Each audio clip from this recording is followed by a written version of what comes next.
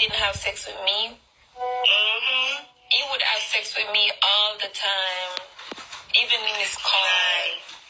Yeah. Where do you guys have sex? In a hotel? Hotel, in his car. In the beginning, um, So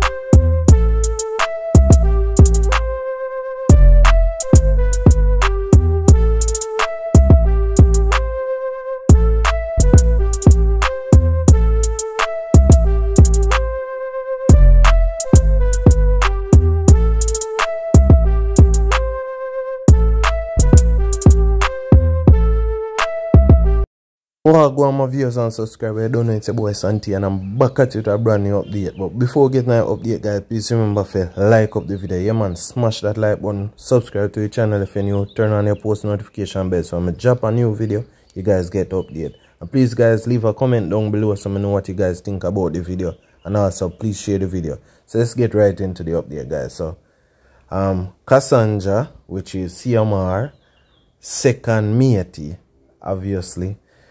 She and Shani, that's the first um matey, they dip on alive and she actually exposed them sex life. What go on, all of that there.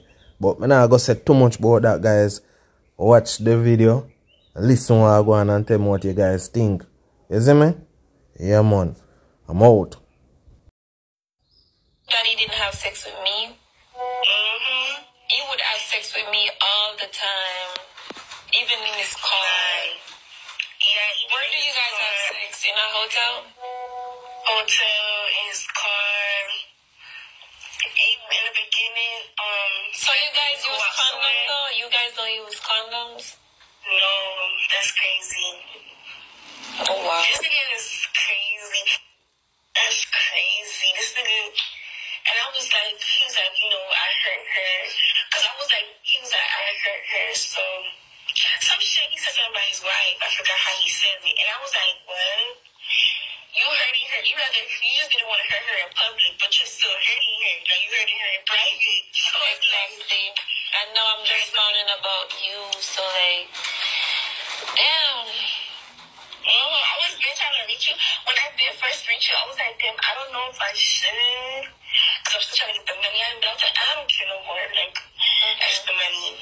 Because then that's to make the money off of, like, you know, followers and my own thing. Yeah. But I didn't the off of bad image, but who cares? Don't. Well, I can send you my number. What do you want to do?